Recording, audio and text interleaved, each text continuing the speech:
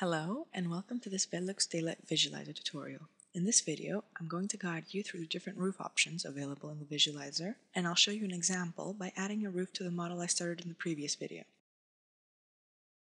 So here we are, I've opened the file, and now I need to select a roof type.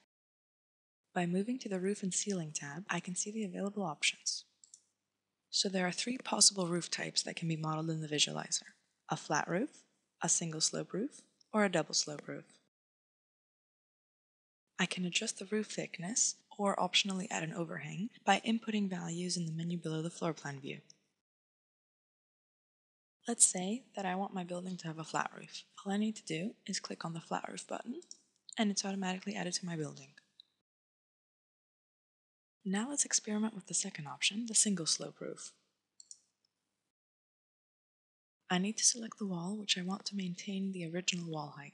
This could be either of the external walls, and I can simply select and the model will update as you can see in the 3D view.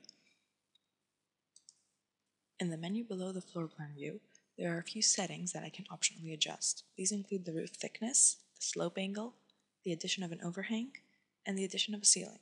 To create a ceiling, I simply need to select flat, and it's automatically added to my model, as you can see in the 3D view. The only adjustment I can make to the ceiling has to do with its height over the floor.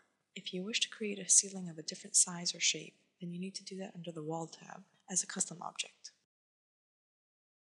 In this project, I actually want my building to have a double sloped roof, so I will move on to show you the next option. For this roof type, I need to draw the median line between the two roof slopes. You'll notice two red lines crossing the floor plan view. These run down the middle in each direction. In this case, I want to follow the horizontal red line, so I will draw my median right over it. And as you can see in the 3D view, the model has updated. Once you've placed the median line, there's no way to change it. So if for some reason you wish to have a different median, then I suggest you go back to one other roof type, and then return to the two slope roof, where you'll get to start over. Now let's take a look at the settings we can adjust in the menu below the floor plan view. Again, of course, we can adjust the roof thickness.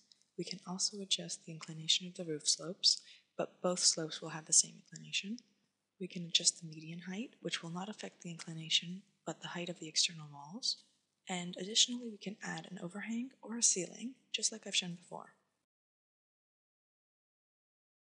Now our roof is complete. In the next video, I will show you how to add windows and doors to your model. Thank you for watching this Velux Daylight Visualizer tutorial.